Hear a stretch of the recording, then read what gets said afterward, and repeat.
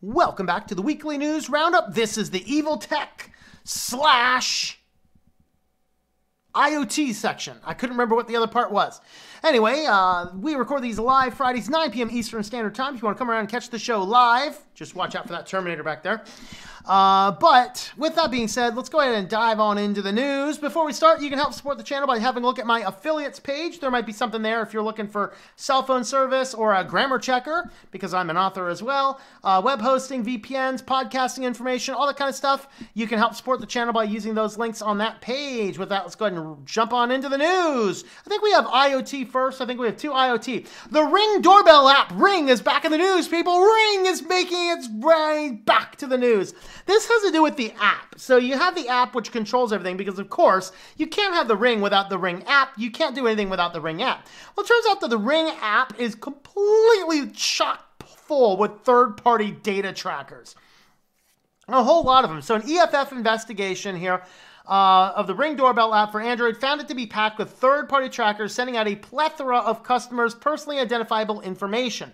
Four main analytics and marketing companies were discovered to be receiving information such as the names, private IP addresses, mobile network carriers, persistent identifiers, and sensor data on the devices of paying customers. Dangers of sending even small bits of information is that analytics and tracking companies are able to combine the pieces of data together to form a unique person a picture of the individual user's device, which basically fingerprints the user. So there were a lot of different things. So we had um, we had Branch.io, Mixpanel, um, AppsFlyer, Facebook. Uh, I know I block uh, Mixpanel and maybe AppsFlyer in my system. If I don't have all these blocked in Facebook in my uh, uh, in my host file, I'll have to double check if uh, those are in, in there now. Uh, so basically, they're doing um, they're basically these are all companies that do massive massive data analytics of individual services and things. And so we got to be really careful about these type of uh, these type of tools and data trackers inside of your devices. And in this literally it's tracking anything and everything you do on your phone if you have the ring app installed. So very interesting very fascinating. All right uh, next um, oh lord. Don't forget people fitbit was purchased by google now you can set up Fitbit Pay so you can very easily, conveniently pay with your little watch. People don't do this. Don't do this. There was, of course, the case we covered a few weeks ago where I think it was, I think it was in New York City. They're doing uh, like an Apple Pay thing for getting into your uh, your uh, transit things. And so what was happening is people were going in there and scanning it, and something was scanning their devices multiple times, and then people were getting double billed for using the subway systems. Very interesting. Um, but anyway, so Fitbit now has, or yeah, uh, Fitbit now has their Fit Pay platform, so you can use it um, to purchase things utilizing that platform. People, don't do this. This is dangerous. Don't do it at all. It's kind of crazy. Um, yeah. Uh...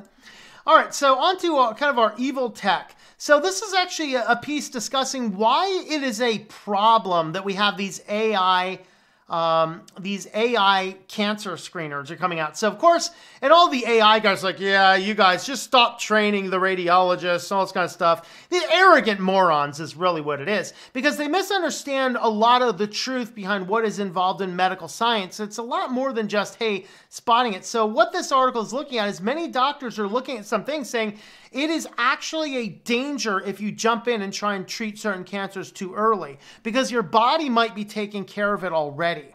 And you don't want to get in there and start doing invasive technologies when your body's already on it because you can hurt your body's immune response to what's going on. All right, so this article is a very fascinating read. I was actually kind of hooked on it.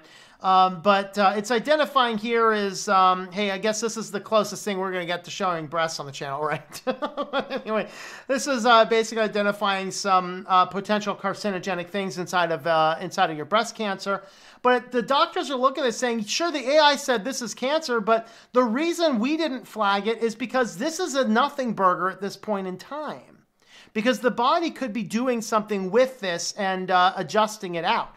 And so we have to be careful about jumping in and jumping to conclusions too soon. This is something a doctor can see that AI cannot. And so that's definitely um, definitely something to keep in mind is that the AI, while it might do a good job of finding all of these tracking screens, at the same token, we don't want to give it too much power because the what's the next to, to allow it to determine it. so it detects something like this that your body may very well be taken care of. And before you know what's going on the machine's lopping some breasts off. Hey you have cancer. There you go man. It's done. Ooh and i realized all the ladies one the just did that. Ooh. But anyway just be careful. Just be careful. All right. Waymo is now working with UPS to do some self-driving package delivery. Now, this is not doing anything to consumers right now because you'd still have to have a person there to start. Uh, basically, you need a person there to start on, you know, take the package out of the vehicle, pass it up. But what they're experimenting with is the distribution center to distribution center. So you have a bunch of things from one distribution center that have to go up to another one. Basically, allow the Waymo to do it so the car leaves the factory completely unattended. It shows up at the next factory, and the employees there will now unload the car and and process everything. So very interesting. Um, it's getting frightening. You know what happens when the cars decide to go rogue, or you know somebody decides to you know put right in its path put a Faraday tunnel and then clop it off and then kidnap the car, tow it up somewhere. They got no idea where their car is. It's in a Faraday cage and someone goes and takes it and robs all the stuff out of it. That'd be an interesting little thing. Kind of like those those robotic vending machines that college campuses were experimenting with last year. And I was like, yo, this is bad. I mean, definitely bad doing a college campus because some geek is going to abduct this thing and they're going to know how to do it without tracking it down.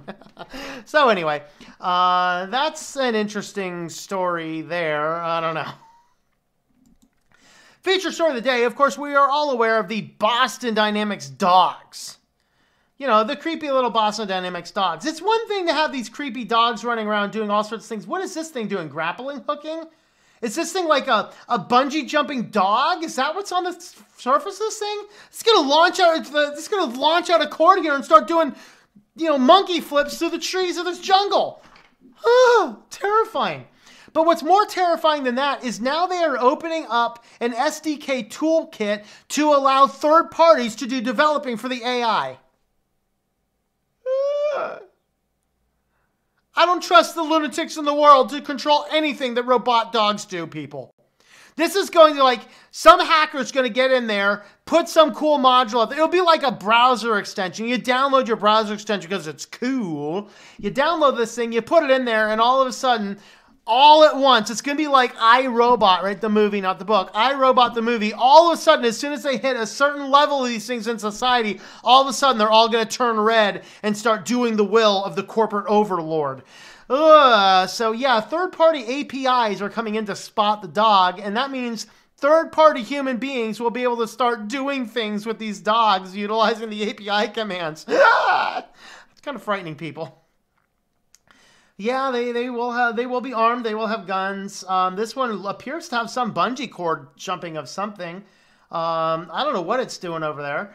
So yeah, there's uh, what's this one doing? Oh, this one's uh, this one here is climbing some uh, climbing some rocks up there. Very frightening. I don't know. What do you guys think? Uh, is it a good world or a bad world when third-party random people can develop um, uh, APIs to interact with the dogs. Let me know your thoughts in the comments down below.